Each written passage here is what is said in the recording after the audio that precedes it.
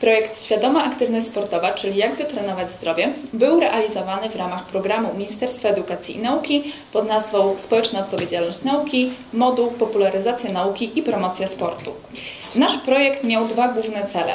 E, przede wszystkim zwiększenie świadomości społeczeństwa na temat, na temat istotności aktywności fizycznej w utrzymaniu zdrowia fizycznego i psychicznego, a także zwiększenie wiedzy studentów Uniwersytetu Medycznego na tematy związane z aktywnością fizyczną i medycyną sportową, a także budowanie w nich podstaw prozdrowotnych i prosportowych, które w przyszłości przekażą swoim pacjentom. Projekt składał się z dwóch elementów. Pierwszy, czyli zajęcia bardziej teoretyczne skierowane dla grupy studentów Uniwersytetu Medycznego z kierunków fizjoterapia i lekarski oraz cykl seminariów i wykładów otwartych dla społeczeństwa. E, część praktyczna składała się z zajęć e, o tematyce treningu medycznego, w tym treningu siłowego, rozgrzewki, rolowania, rozciągania E, diagnostyki narządu ruchu, w tym wykorzystania USG do oceny uszkodzeń narządu ruchu, odnowy biologicznej, pierwszej pomocy, obstawy medycznej. Z kolei część wykładowa miała takie trzy główne moduły. Pierwszy, czyli żywienie i doping w sporcie, który mówił nam o prawidłowych zasadach żywienia, o suplementacji oraz dopingu. Moduł dotyczący psychologii, który traktował o motywacji, wypaleniu zawodniczym, ale także o istotności aktywności fizycznej w utrzymaniu zdrowia E, psychicznego oraz e, trzeci moduł, taki najbardziej interdyscyplinarny, w którym specjaliści z wielu dziedzin opowiadali nam o aktualnych tematach badań naukowych w zakresie medycyny sportowej. I właśnie o tych wykładach chcemy powiedzieć w dalszej części naszego filmu. E, ogłoszenie wyników konkursów i rozpoczęcie realizacji projektu przypadało na rok 2020. Natomiast Y, wiele miesięcy wcześniej zostały zgłoszone mm, reguły konkursu i to właśnie wtedy zaczęliśmy pr pracować nad koncepcją y, y, tego naszego zadania. Było to o tyle dla nas ułatwione, że mieliśmy wykonaną pewną pracę i pewne okoliczności zbiegły się, które pozwoliły na to, że to, to aplikowanie było dla nas łatwiejsze. Te czynniki zewnętrzne to głównie chodziło o to, że w 2018 roku powstał Zakład Medycyny Sportowej i wiele miesięcy wcześniej myśmy pisali różnego rodzaju pisma do władz uczelni, do środowiska akademickiego, y, uzasadniając potrzebę y, stworzenia takiego zakładu. I tutaj pojawiało się wiele argumentów, żeby ten zakład powstał y, w ramach takiej społecznej odpowiedzialności nauki, w ramach doniesień naukowych, które, które, mm, które są teraz a propos medycyny sportowej no i także korzystając z mojego doświadczenia jako lekarza, e, specjalisty medycyny sportowej, mojego doświadczenia i tej praktyki, którą już posiadałem. Myślę, że te wszystkie czynniki e, bardzo dobrze wpłynęły na to, że e, wpisaliśmy się w reguły tego konkursu i mieliśmy pewność, że, że, że to jest konkurs właśnie dla nas, że, że będziemy mogli zrealizować nasze cele, które sobie postawiliśmy w ramach tego konkursu dla, z korzyścią dla społeczności akademickiej, dla sportowców, właściwie dla wszystkich osób aktywnych. Jeżeli chodzi o te cele, to głównie chcieliśmy zwrócić y, większą uwagę na konieczność kształcenia potencjału i wiedzy studentów Uniwersytetu Medycznego, tak aby koncentrowano się nie tylko nie na walce z chorobą, ale także na jak dbać o zdrowie w oparciu o najnowsze doniesienia naukowe. Chcieliśmy też zapoznać studentów Uniwersytetu Medycznego z, z najnowszymi procedurami e, medycznymi stosowanymi w medycynie sportowej, Wiecie Państwo, że te procedury bardzo dynamicznie się zmieniają i środowiska sportu wyczynowego są jakby liderami y, tych zmian. I to, co y, szczególnie na, czym zależało, to e, przekonanie naszych studentów o niezwykłych korzyściach dotyczących diagnozowania i leczenia w oparciu o e, dynamiczny model y, postrzegania ludzkiego ciała. Taki właśnie dynamiczny model opiera się na koncepcjach integracji strukturalnej, taśm mięśniowo-powięziowych czy y, biotensegracji. W oparciu o y, y, ludzkie ciało jest postrzegane jako system obwodów regulacji, gdzie stanowi pewną całość, a nie sumę elementów i to pozwala nam leczyć nie chorobę w człowieku, a człowieka w chorobie. Właśnie tematem jednego z wykładów był, była koncepcja taśm anatomicznych. Model tensegracyjny powstał na potrzeby budowania lekkich, ale wytrzymałych konstrukcji, w których siły mogłyby się równoważyć i e, napięcia związane z siłami pociągania i ściskania byłyby równoważone. Nasze ciało, nasz narząd ruchu, podobnie jak solidna konstrukcja, może przynosić bardzo duże obciążenia związane z aktywnością sportową, nie narażając jednocześnie struktur na nadmierne zużycie. Dzięki modelowi tensegracyjnemu możliwe jest przenoszenie napięć w obrębie struktury i w, całej, w całym układzie, tak aby siły zostały zrównoważone.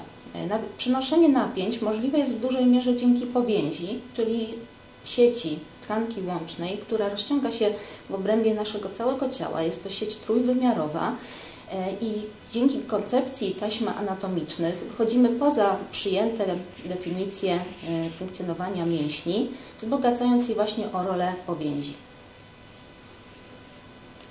W koncepcji taśm anatomicznych Thomas Myers przedstawił łańcuchy mięśniowo-powięziowe, porównując je do torów, stacji i pociągów. Przedstawił on taśmy anatomiczne jako mm, powiązania mięśniowo-powięziowe, które zachodzą w sposób ciągły i całościowy. Powięziowe połączenia tak naprawdę przechodzą przez całe nasze ciało w jednym kierunku, a transmisja sił przenoszona jest jak najbardziej w linii prostej. Kostne przyczepy mięśni lub powięzi są natomiast takimi stacjami przekaźnikowymi. W jednym miejscu może przyczepiać się więcej niż jeden mięsień, dlatego przenoszenie informacji przez powięź może zachodzić w różnych kierunkach. Mm, wyróżniamy siedem taśm anatomicznych, które pozwalają terapeucie na całościową ocenę statyki ciała i wdrążenie odpowiedniego leczenia. Natomiast do takiej pełnej diagnostyki fizjoterapeutycznej warto jest wykorzystać również narzędzia diagnostyczne. Kolejnym tematem naszych wykładów było, było wykorzystanie urządzeń pomiarowych w monitorowaniu treningu sportowego.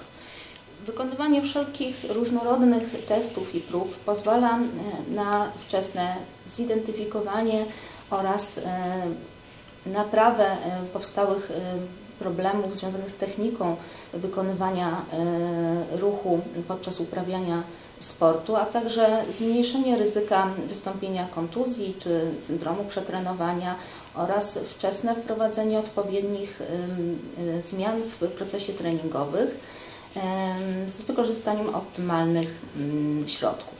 I właśnie studenci podczas naszych zajęć mieli możliwość poznać najnowsze metody badań biomechanicznych, które temu służą.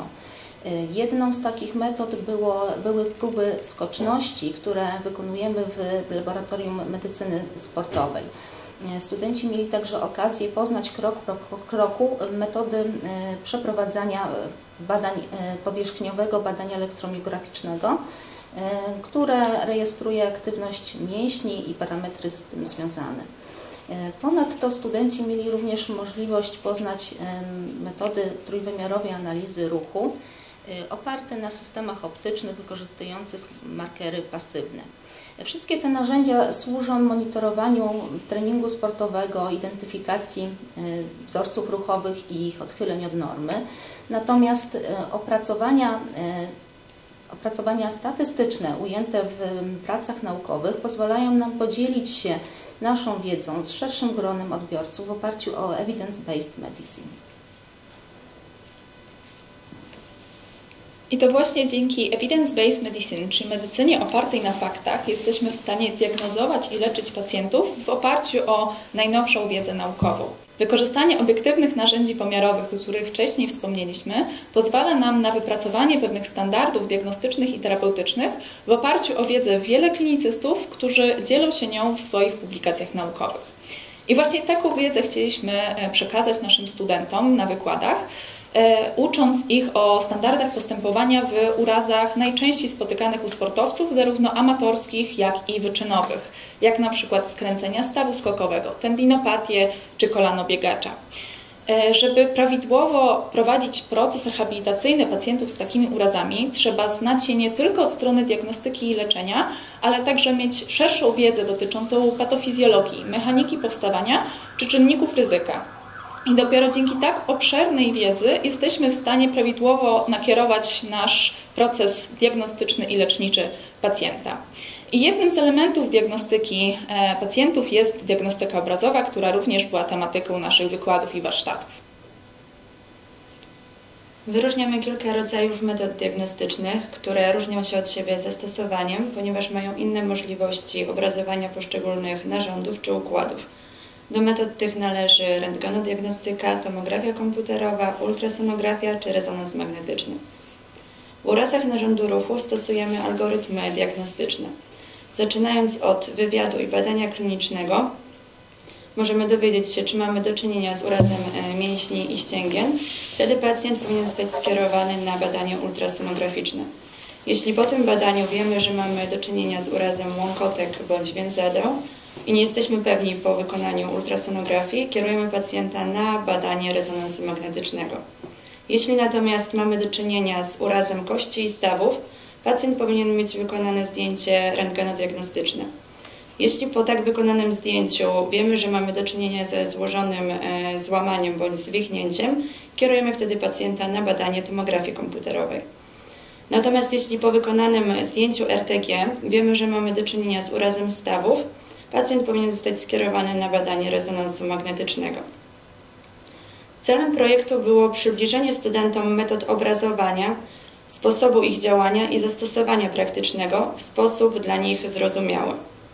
Podczas e, warsztatów praktycznych skupiliśmy się na ultrasonografii, która umożliwia monitorowanie efektów leczenia w dość szybkim czasie. Dzięki coraz doskonalszym narzędziom diagnostycznym, takim jak ultrasonografy, ich dostępności i skuteczności możliwe staje się wprowadzenie w warunkach ambulatoryjnych nowych y, procedur medycznych pod kontrolą USG, takich jak y, iniekcje stawowe i okołostawowe, aspiracje, biopsje, proloterapię, zabiegi ortobiologiczne, hydrodysekcja, kryolezję, termolezję, a także zabiegi fizykalne. Mm, dlatego celem naszego projektu było zapoznanie studentów z nowoczesnym sprzętem diagnostycznym. Y, przenośny aparat ultrasonograficzny został zakupiony ze środków projektu. Chcieliśmy też zapoznać studentów ze stosowanymi preparatami, jak również, a może przede wszystkim, y, zwrócenie uwagi na nowe procedury wspierające proces terapii i regeneracji osób aktywnych nieodzowną częścią treningu sportowego e, i przygotowania motorycznego sportowca jest odnowa biologiczna. Jednym e, z tematów e, prowadzonych na wykładach było również zapoznanie się z metodami odnowy biologicznej. Co to jest odnowa biologiczna? To jest oczywiście sposób na szybką rewitalizację sportowca, polepszenie jego sprawności i wydolności fizycznej. E, i gdzie ją stosujemy. Oczywiście stosujemy ją u osób e, aktywnych fizycznie e, dla poprawy kondycji fizycznej, jako profilaktyka urazów i kontuzji sportowca. Jakie mamy formy odnowy biologicznej? Od podstawowych form termoterapii typu krioterapia czy termoterapia w postaci sauny, a skończywszy na relaksacji w postaci masażu czy treningu relaksacyjnego. I tak mówiąc o masażu sportowym, zdecydowanie e, e, musimy powiedzieć o różnicach e, pomiędzy masażem klasycznym. W masażu sportowym możemy spotkać kilka form. Możemy go podzielić na masaż sportowy przedwysiłkowy, masaż wykonywany w trakcie wysiłku i masaż sportowy powysiłkowy. Każdy z tych masaży ma inne cele. E, I tak masaż sportowy przedwysiłkowy ma na celu przygotowanie zawodnika do wysiłku sportowego.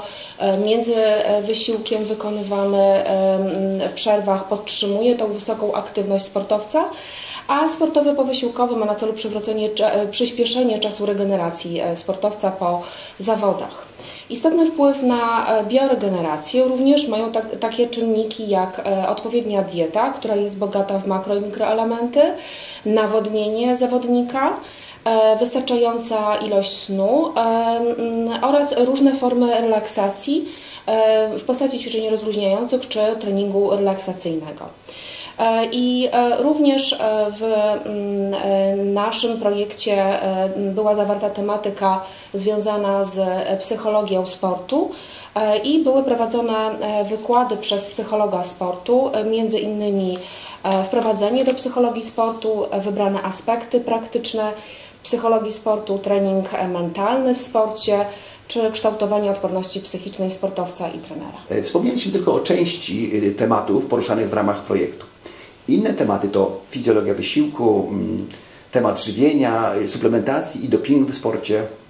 Poruszane były również y, aspekty prawne w medycynie sportowej dotyczące orzecznictwa sportowo-lekarskiego, y, obstawy medycznej, pierwszej pomocy w trakcie zawodów sportowych, czy specyfice sportów osób z niepełnosprawnościami. Mam nadzieję, że przedstawione tematy w ramach projektu przyczynią się do popularyzacji medycyny sportowej w środowisku akademickim, nie tylko. I będzie to stanowiło dodatkowy y, argument wpisania tematyki, problematyki y, medycyny sportowej w program nauczania studentów Uniwersytetu Medycznego.